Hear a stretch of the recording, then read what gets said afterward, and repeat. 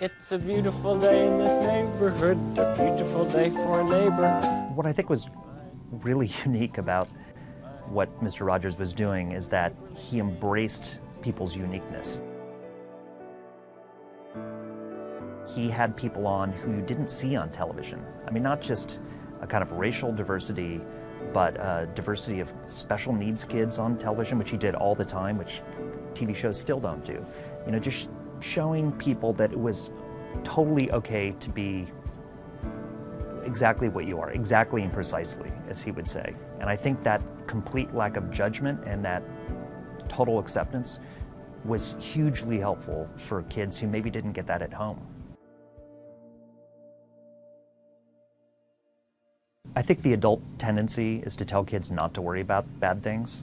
But what I think he realized is that kids are way too smart and intuitive. He really just said, let me level with kids. Let me explain to them that bad things do happen, but in age appropriate ways, I'll help them process those things. Remember hearing about John Lennon being shot in New York and President Reagan and his friends in Washington? Well, the people who are doing these terrible things are making a lot of other people sad and angry. But when we get sad and angry, you and I, we know what to do with our feelings so we don't have to hurt other people. I mean, these are heavy issues for a show for two to six year olds, but kids have to deal with these things.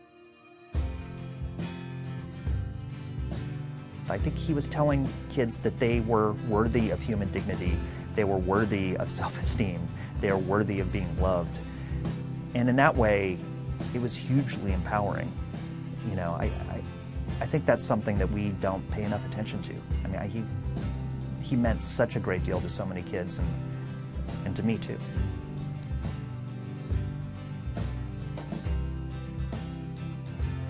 It's kindness even when it's not deserved. It's this idea of blind kindness, of putting kindness out there in the world.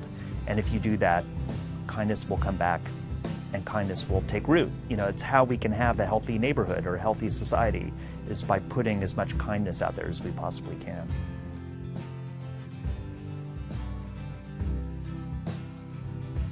Rather than judging something or expressing anger or fear, look for a positive expression of, of those emotions. So, looking for the helpers, trying to find compassion, trying to find understanding was something that would always be his first instinct, no, no matter what bad thing happened out there. Only one person in the whole world like you. That's you yourself. I'll be back next time. Bye bye.